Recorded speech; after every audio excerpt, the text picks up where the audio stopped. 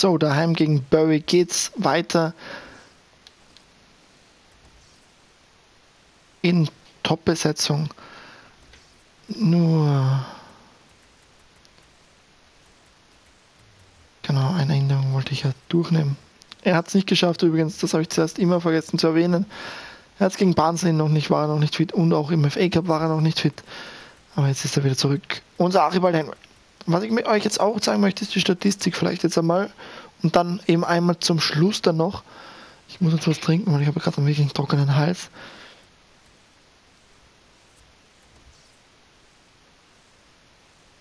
Ähm, zur Statistik. Einsätze, Dauerbrenner. Sind die hier. Da ist Brosenick schon weit abgeschlagen. Die Tore. Das ist ein Punkt, den können wir uns, glaube ich, jetzt gemeinsam ansehen. Es ist Brandt, Barrett, Kaikedo, Brandt, Ramirez 3, Arbal 3, Garnier schon 5, 6 Spiele, 5 Tore. Das ist ein guter Schnitt und da Schmidt 29 Spiele, 5 Tore, 6 Vorlagen und da ist Kai. 5 Tore, eine Vorlage. Aber Schäfer 6-4, 9-12 und da haben wir ihn 31 Spiele, 7 Spiele mehr gespielt, aber 9 Tore, 8 Vorlagen. Ich meine, McAlinden ist da auch mit 9 Tore, 12 Vorlagen nicht gut, also sehr gut dabei. 10 Tore, 7 Vorlagen. Ludwig 15 Tore, 26 Vorlagen. Ist es Taylor Rosenig mit 22 und 17 Vorlagen schon mittlerweile abgeschlagen und 28 Tore und 10 Vorlagen. Das ist unser Pires. Ohne Gegentor Pym, Sweeney natürlich die Abwehr halt.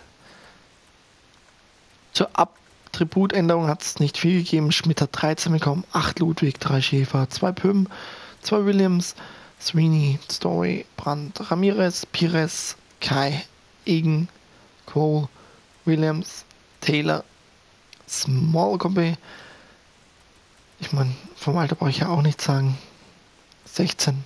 Genau, unser Neuzugang, rechter Verteidiger, Entschuldigung, fast vergessen. Brandt, Ludwig, Pirate, Smith, das sind unsere ganzen Jungen hier. Aber im Finanzwesen, die Verträge laufen von Williams, kann ich da jetzt schon eine Verlängerung machen? Kann ich, ich mache sie im Schnelldurchlauf. Und so sind sie auch. Da kann ich leider nichts machen. Kaikedo kann ich auch nichts machen, der ist sowieso weg. Ja, also die bestverdienenden Spieler sind eben Kaikedo gewesen, jetzt ist Pires, also wird es dann Moxley werden und den sein Vertrag wird auch auslaufen. Also werden wir da auch noch einiges zu tun haben. McAlinden Bestverdiener mit Williams dadurch. Wahrscheinlich wird es Pires werden, wenn wir ihn wirklich holen. Der Wert ist auch von Pym auf 3,3 Millionen, der teuerste Spieler 2,3. Pires Ludwig 2,10, Williams 1,3. Und ich glaube, unser Neuzugang mit 600.000 ist da schon auch ganz gut bedient.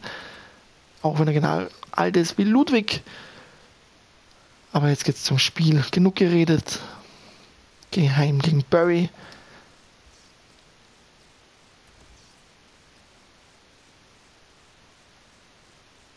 Ich glaube, eins kann man da auch schon sagen. Oder muss man wohl irgendwie erwähnen, dass es jetzt nicht mehr viele Spiele sind bis zum Meisterschaftsende. Ich glaube 17, 18 Spiele noch. Ohne einen Weiterkommen FA Cup und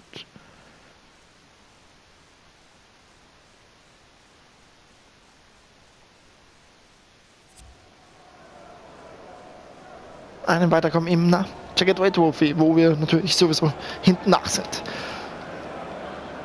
Nichtsdestotrotz, jetzt geht es einmal gegen Barry vollste Konzentration, dann kann Barnsley wieder ins Visier kommen.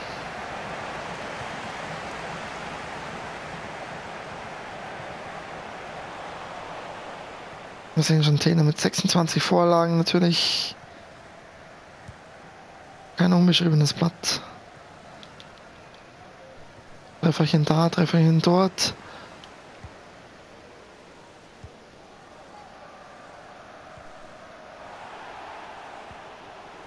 Das ist Felipe Perez.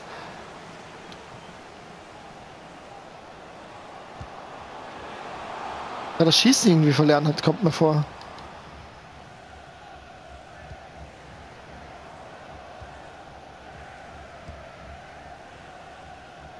Und hat Southampton ausgeschlagen. Da muss ja gegen Burry da auch ein bisschen was drin sein. Aber man muss diese Motivation mitnehmen. Vor allem Prosenek wieder getroffen.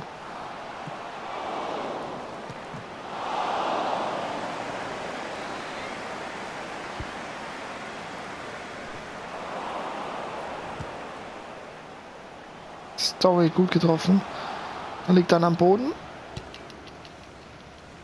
Hat sich verletzt, ist die Frage.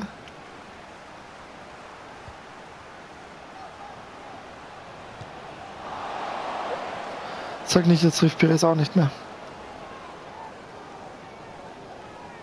Ja, Ludwig hat sich verletzt, den werden wir natürlich gleich auswechseln. Können wir dann nicht riskieren.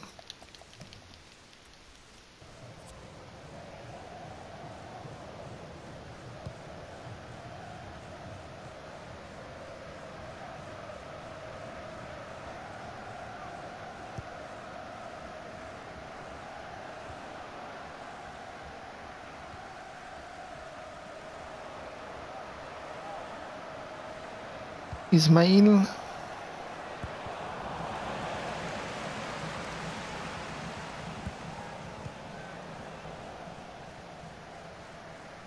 Williams wieder ein sehr gutes FA Cup Spiel abgeliefert.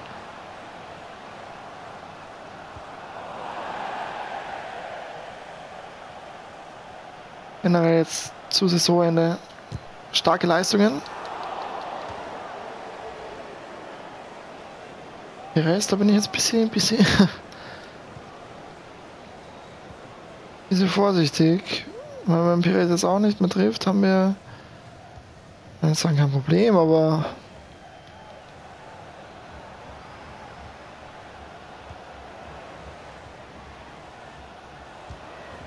schon 1, 0 zu 1 Backfahrt.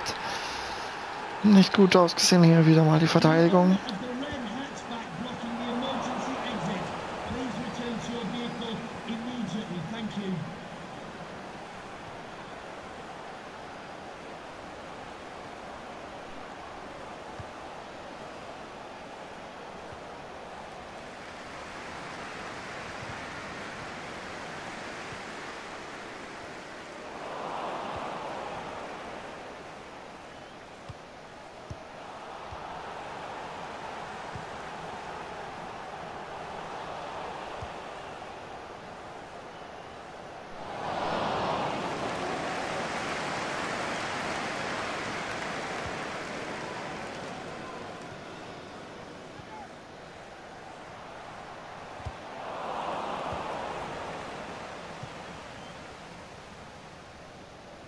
Okay.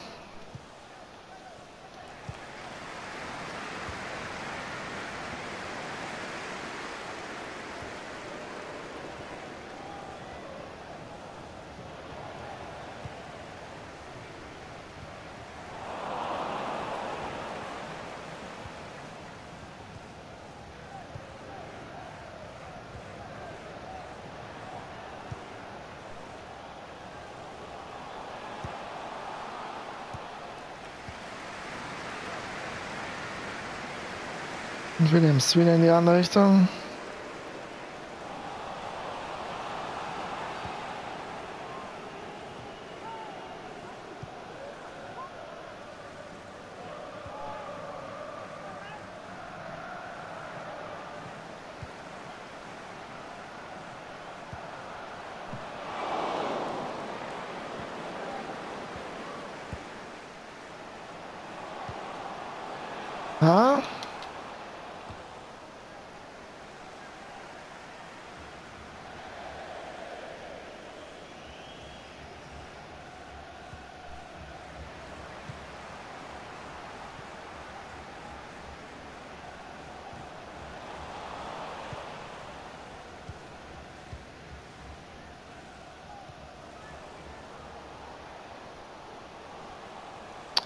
Komm schon.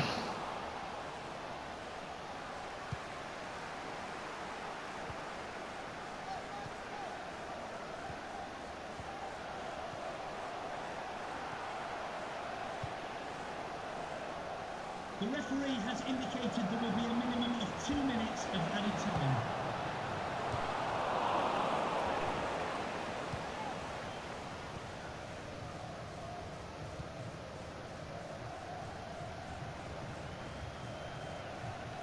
Ja, 0 zu 1 hinten, das ist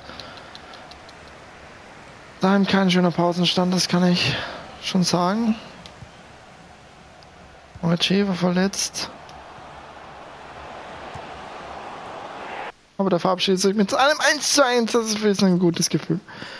Den wechseln wir noch schnell aus.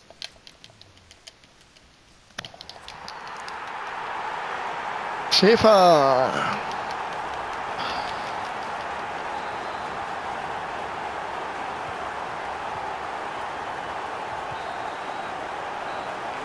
Sehr gut.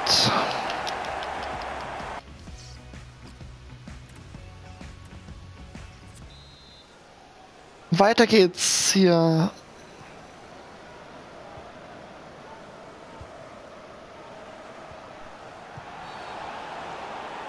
Paul.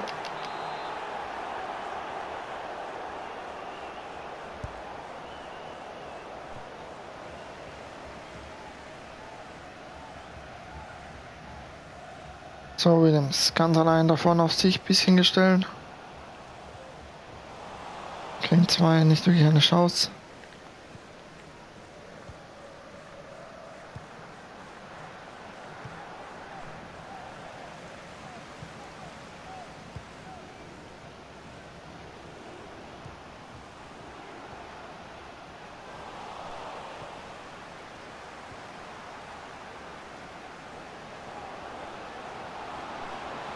Bosniak hat da einen guten Akzent abgeliefert, also mal ein gutes Anzeichen.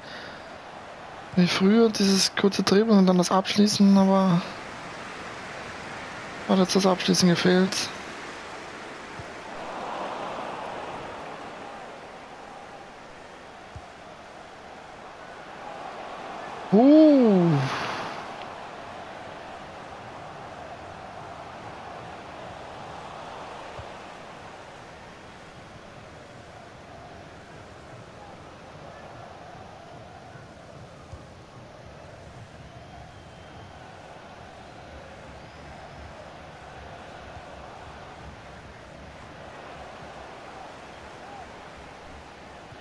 Fehler.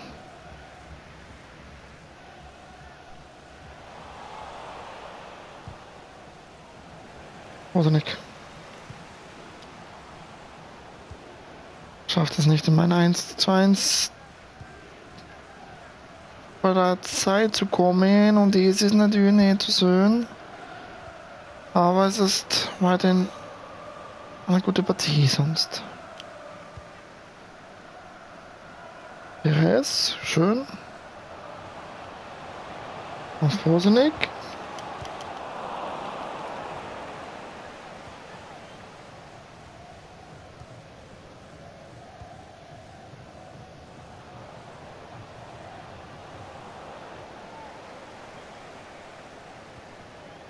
Story.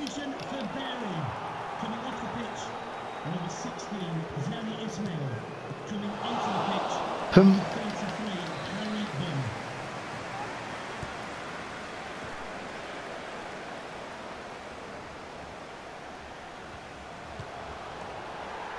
1 zu 2, Burry. Es ist wieder Backford. Was soll ich da noch sagen, ich meine? Verlagerung wieder nicht gut ausgesehen. Wir müssen jetzt halt das Ganze gehen.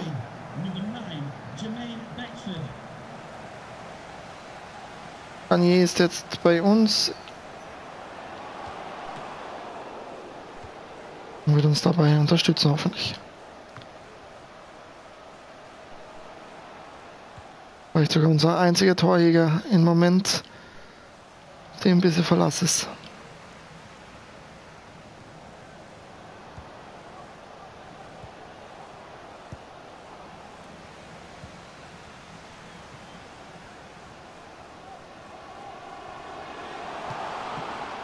Oh, Pires.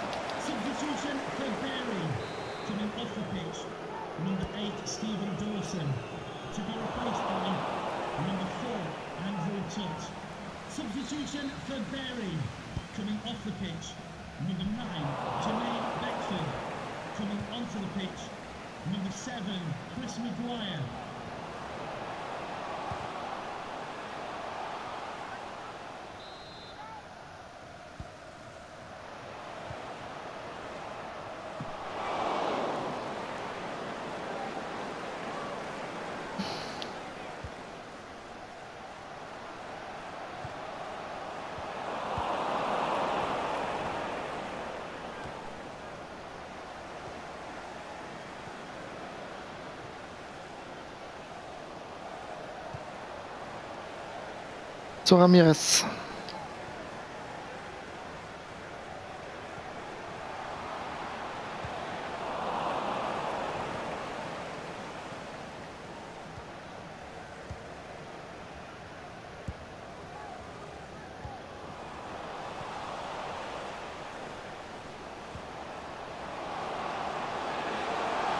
Garnier und es ist zu 2 zu 2.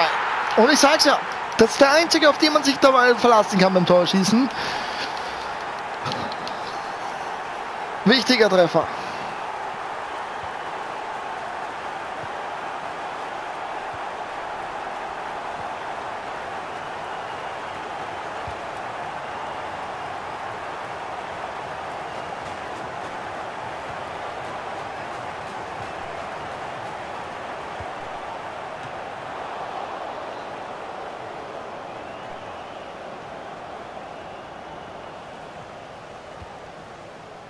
Und da ist er jetzt wieder dabei.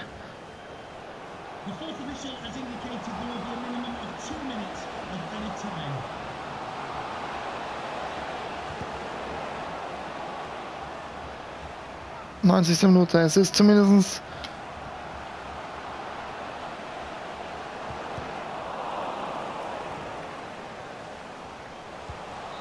Ja, da hat man jetzt wenigstens das 2-2 gerettet. Das war wichtig. Wenigstens den Punkt. Zwar auch verlorene zwei Punkte, aber was soll man machen, wenn es nicht besser geht? Wir sehen uns beim nächsten Mal. Bis dann und rein. Ciao.